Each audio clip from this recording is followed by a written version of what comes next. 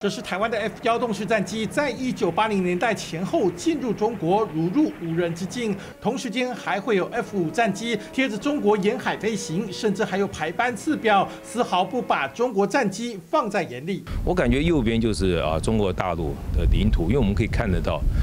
那呃左边的话就是海，说不好听，中共那个时候一个。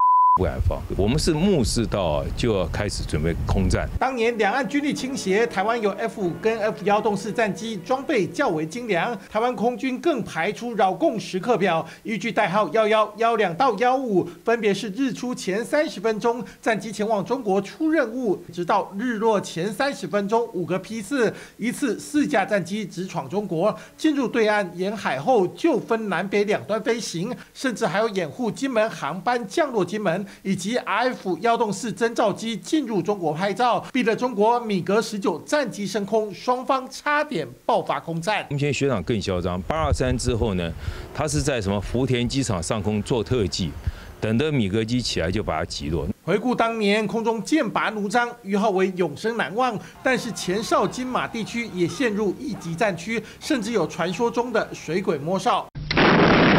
八二三炮战前后，金马还有东引的海龙蛙兵，一群人带着刺刀、突击步枪游上对岸，从后方徒手击毙共军哨兵，甚至歼灭整个哨所。民间还有割耳朵的传说，互相渗透。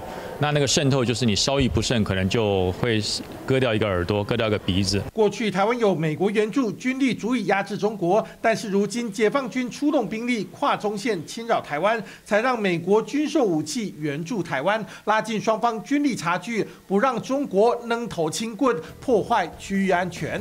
三立新闻刘家伟、陈豪台北报道。